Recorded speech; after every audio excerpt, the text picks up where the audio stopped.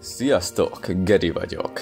A mai videóban egy számomra már régóta különleges lénypárossal fogunk foglalkozni, amelyek még tán a hamis kártyagyűjteményeinkben is megtalálhatóak voltak. White Magician Pikaru és Ebon Magician Curran.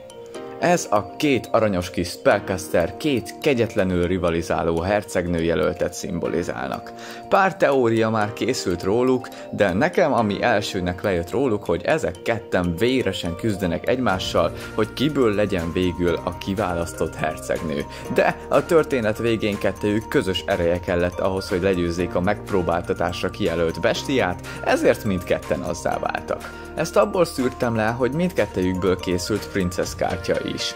De még az is érdekes megközelítés, hogy ugye ez a varázskártya csak az egyikre szerelhető fel, és a feltétel teljesülése után csak abból csinálja meg a princeszt, amelyre felszerelted, úgyhogy akár a rivalizálás kivetülhet arra is, hogy melyiket húzott ki előbb és szerelet fel vele. Pikerős Curran egyébként egy nagyon menő old school spellcaster Burn Lockdown paklinak a kiegészítő részei, amelyet én is előszeretettel használok a mai napig. Jó pár sikeres kombóval sikerült megfognom vele ma is erős paklikat, de versenyképesnek nem mondanám, mivel túl sok negálást már abszolút nem bírnak ki.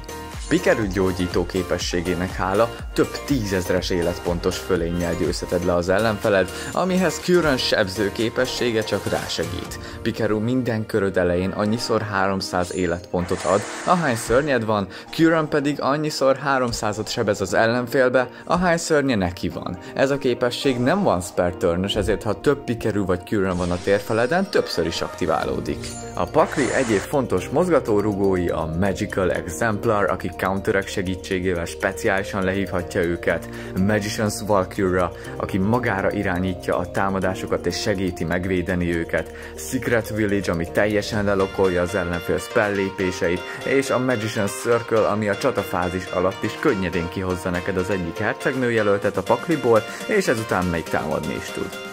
Ezek a kártyák egyébként szörnyen ritkák, manapság már nem sűrűn látok belőle, de én rajta leszek, hogy ezt a kis paklit a valóságban is össze tudjam rakni, és ha ez összejött, megmutathatom nektek valós kártya formákban is, hogyha persze érdekel. Köszönöm szépen, hogy itt voltatok velem, sziasztok!